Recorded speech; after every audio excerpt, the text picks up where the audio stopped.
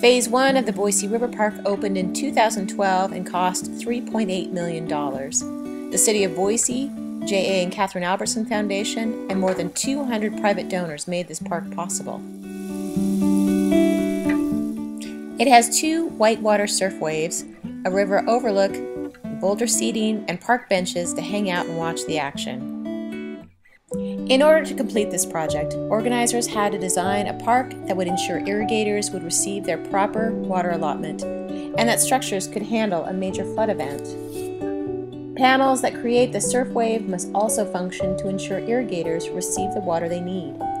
These panels are adjustable, ensuring proper irrigation levels and allowing surf waves to be adjusted in minutes. Spectators enjoy watching those in the water do their thing, Imagine yourself spending the day at the Boise River Park with your dad. In just a few years, surfing has grown exponentially. It's been a big surprise in the whitewater industry. It's amazing the tricks you can learn when a whitewater park is in your backyard.